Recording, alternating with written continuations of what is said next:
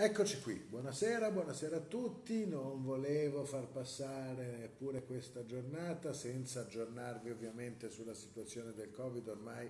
lo facciamo costantemente dovunque siamo e anche oggi ovviamente dopo aver eh, raccolto tutti i dati ed analizzato tutte le situazioni con la nostra sanità, compreso un sopralluogo che ho fatto con il sindaco Bucci perché oggi è partita la commenda di Pre, il laboratorio mobile per i tamponi antigenici, quelli rapidi nel centro eh, storico di Genova, che sapete è una delle aree che è stata più colpita nei giorni scorsi e su cui vogliamo fare un lavoro di tracciamento molto molto accurato come abbiamo fatto nel centro di eh, Spezia quando lì c'era un cluster che oggi per fortuna ancora una volta i dati ci confermano si sta asciugando. Allora vengo subito a i dati, oggi abbiamo fatto 3.597 tamponi, come vedete ormai la media quotidiana è sopra i 3.000 quasi, quasi sempre, quando corre ovviamente è una percentuale che ci mette ai vertici in Italia per capacità di tracciamento e analisi. Con questo numero di tamponi abbiamo individuato 111 soggetti eh, positivi, in particolare in ASL 1 sono 7, in ASL 2 sono 8, poi vi dirò qualcosa in riferimento all'ASL 2, ASL 3 sono 63, eh, ASL 4 sono soltanto 1 e ASL 5, come vi dicevo, quella in cui erano molte molte decine nelle settimane scorse, sono soltanto 32 con una pressione, vi anticipo, sugli ospedali dello Spezzino, in particolare sul Covid Hospital di Sarzana, che è rimasta invariata ormai da due o tre giorni, quindi segno che le misure che abbiamo preso e le attività di tracciamento dei nostri straordinari uffici di prevenzione stanno effettivamente eh, dando i propri eh, frutti e quindi su quello poi come sapete nelle prossime ore ragioneremo con il sindaco sulle ordinanze che sono ancora in vigore nella città anche se devo dire c'è di fatto solo l'obbligo di mascherina quindi non un'ordinanza particolarmente gravosa e vessatoria nei confronti dei cittadini. In ASL 3 invece l'altro focolaio che come sapete ci sta in qualche modo eh, facendo lavorare in queste ore sono 63, quindi sono eh, una pressione ancora in linea con quella sostanzialmente dei giorni, dei giorni passati, non aumenta e questo vuol dire che in qualche modo anche lì gli uffici di tracciamento stanno facendo il loro lavoro e ci auguriamo ovviamente che il nuovo centro Tramponi dove vi si può presentarsi senza bisogno d'appuntamento tra la mattina e le 14 per fare il test antigenico, quello che in 15 minuti ti dice se sei positivo o negativo, bene credo che anche questo, come il laboratorio mobile che usammo nei giorni caldi del cluster a Spezia, possa aiutarci. Eh, andiamo alla situazione degli ospedali,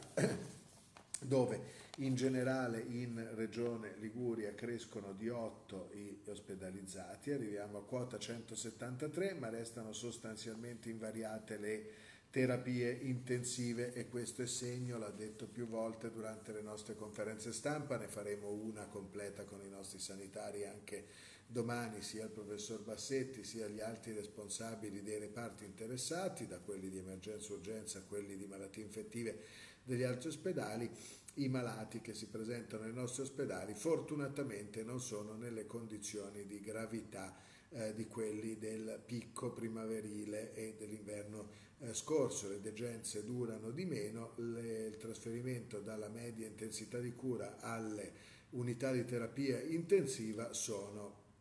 sempre più rari. Lo dico e lo dico anche ancora una volta eh, che non ci sono problemi di posti letto nei nostri ospedali né oggi né in prospettiva. Questo per chi ama in qualche modo eh, lavorare sulle paure della gente, cosa che eh, francamente trovo particolarmente disdicevole. In particolare cala la pressione sugli ospedali dell'ASL 1 e questo per il momento è un buon segno perché è evidentemente un'area di confine con la Francia che è una situazione particolarmente esposta, ma per il momento stiamo riuscendo ovviamente a proteggere quel territorio evidentemente in modo efficace.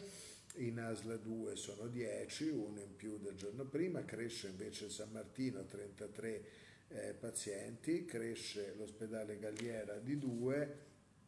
semplicemente perché eh, ovviamente il cluster di Genova, quello di cui vi abbiamo parlato nei giorni scorsi, ovviamente produce eh, malati che si presentano ai nostri ospedali e vengono opportunamente eh, curati, mentre come vi avevo detto su Sarzana e su Spezia eh, resta invariata totalmente la pressione ospedaliera con i 62 pazienti e le 8 terapie intensive che avevamo nei giorni scorsi e questo direi che è un, buon, eh, un ottimo e un buon segno. Purtroppo dobbiamo rilevare eh, quattro decessi, eh, decessi del 30 di eh, settembre. Si tratta di una donna di 101 anni, si tratta di un'altra donna di 86 anni, un uomo di 51 e una donna di 95, tutti di Sarzana tranne la signora di 95 anni deceduta all'ospedale di eh, Lavagna. E come sempre un abbraccio e le condoglianze alla famiglia, segno che ovviamente il, eh, il Covid non, eh, non, è una malattia da tenere sotto gamba, anzi che come detto prima eh, evidentemente le terapie funzionano di più con questo numero di ospedalizzati, in altri tempi avremmo avuto un bilancio ben, ben più grave. Le sorveglianze attive restano sostanzialmente quelle che avevamo nei giorni scorsi, un filo meno sulla ASL 5 e anche sulla ASL 3 perché sono in un totale di 2165. Questo è il bilancio della giornata Covid, quindi direi sostanzialmente per riassumere su Spezia un cluster che sta effettivamente rientrando, i numeri ce lo dicono costantemente come la pressione sugli ospedali ce lo conferma, su Genova un eh, cluster dei vicoli cosiddetto per capirci eh, quando ci parliamo che non è poi esattamente solo lì ma che nasce da lì e che vede lì la maggior parte dei contagiati per i quali abbiamo aperto oggi un'ulteriore unità sanitaria nei vicoli, la commenda di Pre, giusto per tamponare, screenare, screenare è una brutta parola, ma insomma fare lo screening a tutti i soggetti che vivono in quella zona per evidenziare cluster, soprattutto come sapete è un cluster che si è sviluppato all'interno di alcune comunità di nazionalità o di provenienza straniera e anche molti degli ospedalizzati provengono da quelle comunità che spesso non hanno una eh, stabile residenza o hanno eh, tutto diciamo, il bagaglio che hanno altri cittadini delle nostre città, medico di famiglia, conoscenza e capacità di rivolgersi alle nostre ASL per questo abbiamo fatto in loco un luogo dove possono rivolgersi per appunto fare lo screening di tutto. Eh, l'ultima notizia che vi voglio dare è che non è segnata ancora qua e stiamo ancora ovviamente analizzando la situazione. Eh, poco fa abbiamo individuato un cluster in una residenza per anziani del Savonese, è una residenza privata non convenzionata con Regione Liguria, ma siamo ovviamente intervenuti immediatamente per capire la situazione, vi daremo maggiori notizie domani, quello che posso dirvi oggi è che produce circa 23 nuovi positivi, eh, 15 ospiti della struttura e 8 persone del personale, vi sono praticamente tutti asintomatici, vi sono solamente 3 lievi sintomatici, quindi non sta producendo nessun ricovero eh, ospedaliero al momento, la nostra unità di geriatria Covid de, si occupa del coordinamento con le case di riposo se ne sta già occupando, domani vi darò altri dati, come vi ho spesso spiegato, trattandosi di un cluster chiuso all'interno di una RSA, ovviamente non abbiamo preoccupazioni legate al al, al, diffondersi del virus, non abbiamo preoccupazioni legate neppure nei tracciamenti dei contagi perché sono già stati tutti individuati, o si tratta di personale o si tratta di pazienti, quindi facilmente isolabile dal punto di vista del, del virus, la guardiamo con grande attenzione perché si tratta, come tutte le residenze per anziani, di pazienti che possono avere delle loro debolezze e fragilità data l'età e quindi le stiamo monitorando con grande attenzione senza che questo però porti particolare preoccupazione eh, su tutto questo. Questa direi che è l'ultima notizia in una giornata in cui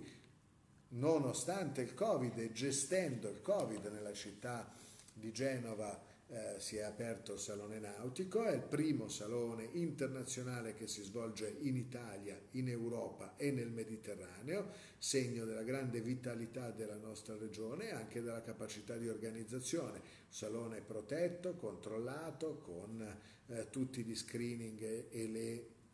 ovviamente procedure codificate per proteggere visitatori e personale che vi lavora. Anche oggi era affollato di persone in questa prima giornata, si sono svolti interessanti incontri, dibattiti dal presidente di Confindustria in giù, tante persone si stanno godendo bellissime barche del design italiano ricordiamo che la Liguria è la prima regione per produzione di barche, di mega yacht, di piccoli yacht, di barche, di gommoni, di mondo della nautica, che non sono un giocattolo per ricchi, sono posti di lavoro, benessere, ricchezza, eh, futuro di tante tante famiglie della nostra regione e del nostro paese, siamo i primi produttori al mondo di nautica eh, da diporto, quindi era importante dare un segnale a questo, a questo salone che si trascina dietro un sacco di iniziative interessanti anche in questo fine settimana in cui riapre il nostro teatro Carlo Felice, in cui si celebrano i 50 anni delle regioni con una bellissima mostra che riguarda la nostra storia.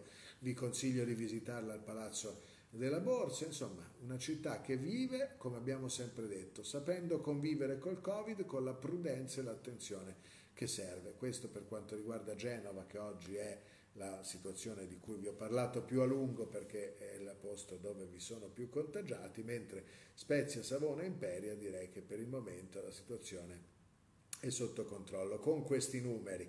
ci auguriamo che anche gli svizzeri possano, siamo in contatto, anche oggi abbiamo parlato con l'ambasciatore, abbiamo sentito il console, ovviamente aspettano la valutazione dei dati di questa settimana, se caleranno e se la caleranno ancora i primi giorni della prossima, non appena possibile ci sarà una rivalutazione ovviamente della posizione della Liguria, di questo abbiamo parlato a lungo anche col Ministero delle Estere, abbiamo mandato anche a loro i nostri dati che confermano, come vi ho spiegato, che in tutta la Liguria non vi è un'emergenza Covid, siamo saliti sopra la soglia di guardia per la Svizzera per i giorni caldi del cluster di Spezia, ci auguriamo che con rientrare del cluster di Spezia e con la situazione di Genova sotto controllo, ovviamente anche gli svizzeri torneranno a riconsiderare le proprie decisioni. Buona serata a tutti, ci sentiamo e ci vediamo domani quando intorno alle 18 faremo il punto ovviamente sui dati e poi con il professor Ansaldi, con eh, il dottor Grattarola per quanto riguarda le terapie intensive, con il professor Bassetti per quanto riguarda la situazione degli ospedali. Buona serata a tutti, continuiamo a essere prudenti, senza paura e godiamoci la nostra splendida Liguria. Ciao a tutti.